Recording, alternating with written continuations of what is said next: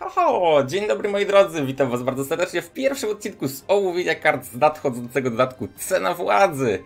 Tak jest, rozpoczęło się pokazywanie kart, także my również musimy wystartować z omówieniem. Dodatek Cena Władzy wystartuje 8 czerwca, jeśli ktoś jeszcze nie wie. E, także w zasadzie dwa tygodnie zostały e, do najnowszych karcioszek. Karcioszek w tym dodatku będzie 26, wszystkie będą tutaj pokazane na stronie. E, cztery karty do każdej frakcji, e, plus dwie karty neutralne, co daje nam 4 razy 6 plus 2, 26 kart. E, no i będziemy sobie omawiać karcioszki w poszczególnych odcinkach. E, Będę je omawiał na bieżąco i pomyślałem sobie, że będziemy je omawiać właśnie tak z podziałem na frakcje, czyli w momencie, kiedy pojawią się cztery karty z danej frakcji, tak jak na przykład teraz widzimy cztery karty syndykatu, no to odcinek się pojawi. E, Także możecie wyczekiwać i lecimy. E, Zaczniemy sobie od karty zwykłej. Mm, Generalnie są karty czterech różnych rzadkości, czyli zwykła, rzadka, epicka i legendarna. I tak będzie w każdej frakcji. W przypadku syndykatu mamy kartę zwykłą, która się nazywa Nowigradzka Straż Ochotnicza. Kosztuje 4 prowizji, ma 4 siły, e, człowiek łowca czarownic i bardzo ciekawa umiejętność. Za każdym razem, gdy wyznaczona jest nagroda za wroga, zadaj tej jednostce 2 punkty obrażeń. A w ogóle, tak jak widzicie, każda frakcja tutaj na górze ma jakiś taki tekst. Przypadku syndykatu jest to wyznaczaj nagrody za wrogów, zbieraj ich głowy i odbieraj łupy, co przełożyło się na to, że syndykat będzie e, miał wsparcie do archetypu właśnie związanego z nakładaniem nagród. E, no i to są właśnie te karcioszki. E, tak może jeszcze zanim omówimy te karcioszki, to sobie zobaczmy. E, w Królestwach Północy zanosi się na, e, na jakieś ładunki z rozkazami, może same rozkazy. W potworach mamy coś z wiedźmami, co ciekawe. W Nilfgardzie mamy manipulację talią. W Skellige mamy burzę, także burzę plus deszcz, także będzie ciekawie. Skojatel mamy jakieś e, zaklęcia, więc może Spelatel powróci. No i w neutralach nie ma nic. Ale dobrze, wróćmy do syndykatu.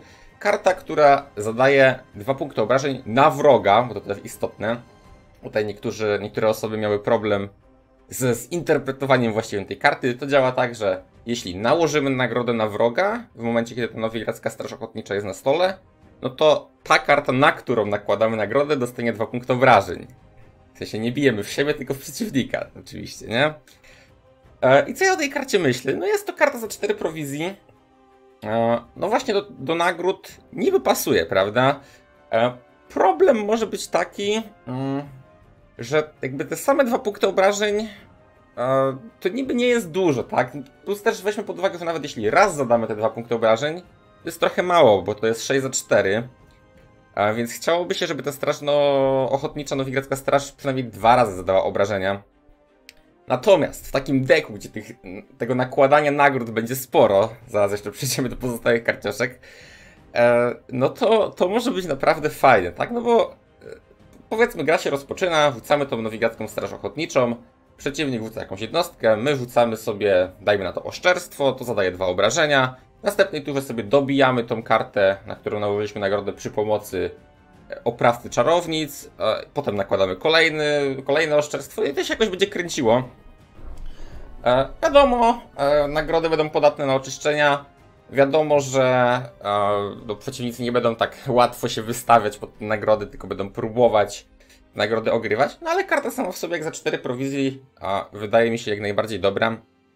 Także ja tutaj e, nie mam żadnych zastrzeżeń do tej karty, po prostu wydaje się solidną czwóreczką do jakiejś talii z dużą ilością nagród.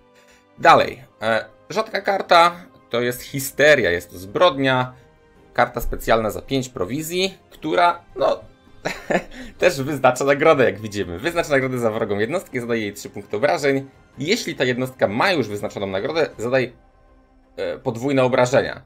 No, czyli w momencie, kiedy mamy jednostkę z nagrodą, no to to zadaje 6 obrażeń. W momencie, kiedy nie ma karty z nagrodą, no to nakładamy i zadajemy 3 obrażenia.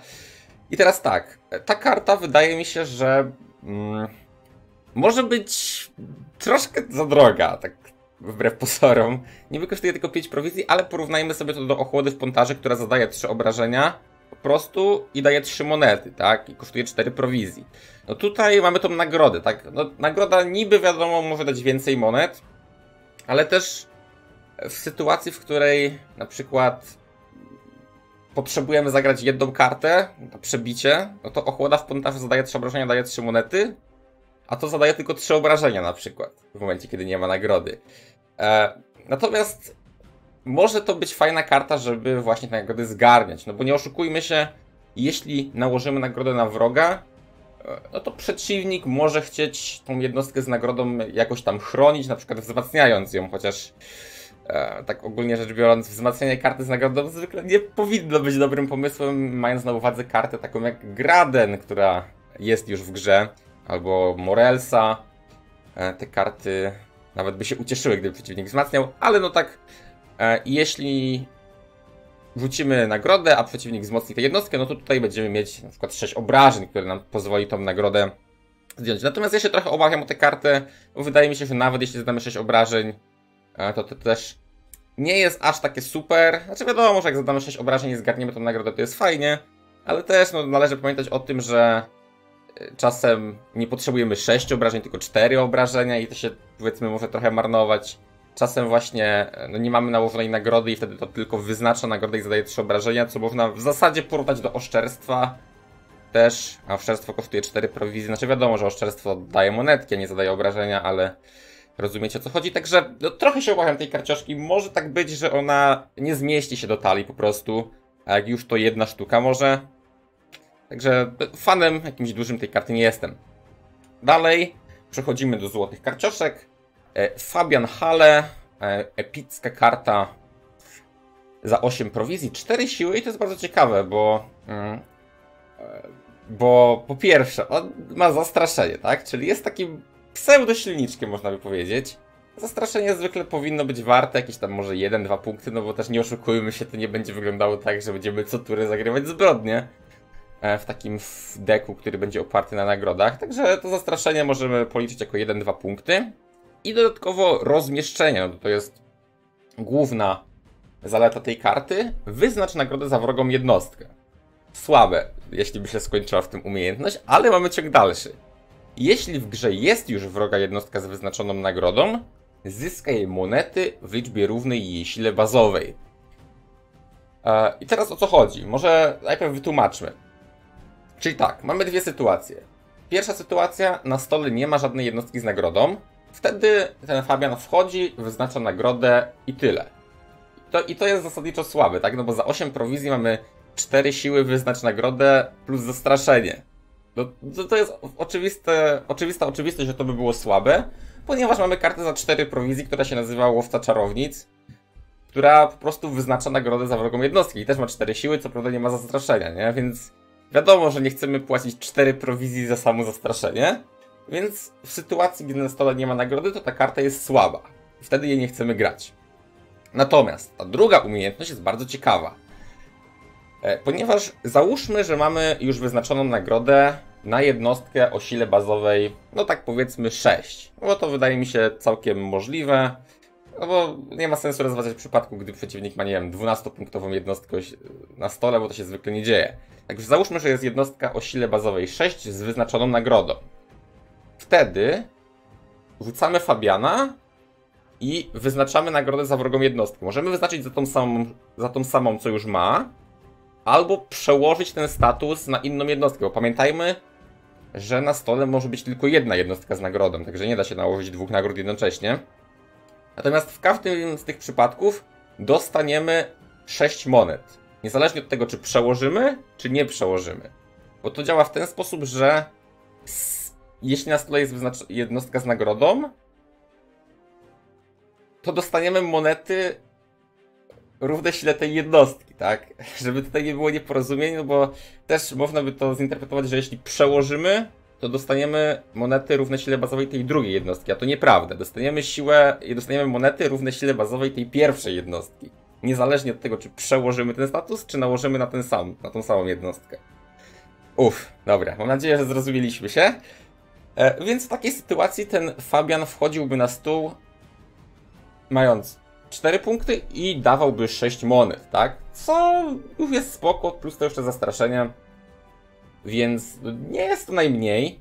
Można by to troszkę może porównać do Zigiego, tak? No Ziggy bardzo fajna karta, która daje nam 9 monet, zwykle, no bo tam wtedy budujemy deck pod te gangi. Teraz tutaj jest to, wydaje mi się, trochę trudniejsze, ale też ten Fabian kosztuje tylko 8 prowizji, pamiętajmy, tak? Jeśli dostaniemy 6 monet za 8 prowizji plus 4 siły bazowo plus zastraszenie, e, wydaje się to całkiem nie najgorsze, tak? Aczkolwiek ja tutaj zawsze jestem sceptyczny i mi się ta karta jakoś tak nie do końca widzi, jak szczerze powiem, że niby te monety fajne, e, ale no troszkę się obawiam, no bo też założyłem tutaj jednostkę o sile bazowej 6, co też nie zawsze ma miejsce, mm, bo przeciwnik na przykład może nie mieć takich jednostek, więc w momencie, gdybyśmy dostali na przykład tylko 4 monety, to to nie jest już takie super. E, także potencjał niby jest. Myślę, że tutaj dużo zależeć będzie od tego, jak duże e, siły bazowe będą w taliach przeciwników. Plus też, no jak w ogóle te nagrody się odnajdą w mecie. No bo e, słyszałem też w ogóle opcję, że może pojawi się częściej granie gordozą, czyli dary natury, żeby kontrować te nagrody poprzez oczyszczenia. Ale to też takie gadanie. E, trochę, że może Gordoza powinna grać, bo kontruje wampiry, a wampiry aktualnie nie grają, tak? Więc no nie chcę tutaj e, być złym prorokiem, ale ja tak przewiduję, że te nagrody to tak skończą trochę jak wampiry, że niby fajna mechanika, fajnie jak siądzie, ale no będzie problem w momencie, kiedy będą jednostki z zasłoną, będzie problem, kiedy będą no unity, e, będzie problem w momencie, kiedy nie wygramy rundy pierwszej, bo wtedy przeciwnik nas wypuszuje i może być niezręczna sytuacja. Kiedy, na, kiedy przeciwnik puszuje, no to wtedy ciężko może być zsynchronizować, tak? Nakładanie nagród i zgarnienie tych nagród. Także troszkę się obawiam, ale przejdźmy jeszcze do karty legendarnej, bo to myślę jest wisienka na torcie. Karta legendarna tutaj będzie miała największy wpływ na ten archetyp, powiedzmy. Jest to pogrom, pogromczyni czarownic, czyli za 7 prowizji, yy, 7 prowizji, 12 prowizji, 7 siły bazowej. I tutaj bardzo, powiedzmy, może nie nowa mechanika, ale, ale taka... No dobra, może nazwijmy to nową mechaniką. Stwórz korony syndykatu sztuk 3. I ta korona syndykatu to jest powiedzmy ta nowa mechanika, e, ponieważ jest, są to artefakty, tak, które pojawiają się na stole, które pozwalają nam zyskać monetę no i wygnać ten artefakt, tak żeby nie zajmował miejsca na stole. Dlaczego powiedziałem nowa mechanika? Ponieważ pozwala nam to posiadać więcej niż 9 monet w sakiewce, tak w pewnym sensie oczywiście. E, ponieważ możemy mieć 9 monet w sakiewce i jeszcze te 3 monety na stole, tak zamrożone powiedzmy. Więc to ma bardzo dużo zalet, jakby ktoś się zastanawiał. E, bo po pierwsze, pozwala nam, znaczy pierwsze i najważniejsze w zasadzie, pozwala nam robić większe kombosy. Mówiąc większe kombosy mam na myśli e, no tak, na, tak przykładowo świder, tak? No nie wiem do końca, czy ta pogromczynica czarownic pasuje do talii ze świderem, ale no wydaje mi się, że nie, nie byłaby najgorsza.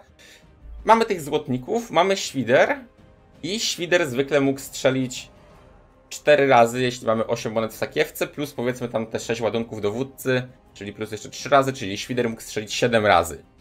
Natomiast jeśli będziemy mieć jeszcze te 3 monetki zamrożone, tak jak powiedziałem, no to świder będzie mógł strzelić dodatkowe 2 razy, tak? No bo będziemy mieć 9 monet w sakiewce, 6 ładunków dowódcy na przykład, plus jeszcze te 3 monety, co daje nam 18 monet, więc świder może strzelić 9 razy, tak? Plus jeśli jeszcze zbijemy kartę z nagrodą, to już w ogóle możemy wyczyścić wszystko. E, także pod tym kątem kombosy są super, więc to jest naprawdę duża zaleta tej karty, ale może przeczytajmy dalej, bo to nie koniec. Dalej mamy na koniec swojej tury, jeśli za żadną wrogą jednostkę nie jest wyznaczona nagroda, wyznacz nagrodę za wrogą jednostkę o największej sile. Także no to jest bardzo mocne, jak się tak zastanowimy. No bo e, po prostu rzucamy tę kartę i ona nakłada nagrodę na koniec tury, no pod warunkiem, że już nie było jej na stole. No, a wiadomo, że tę kartę będziemy rzucać właśnie w takim momencie.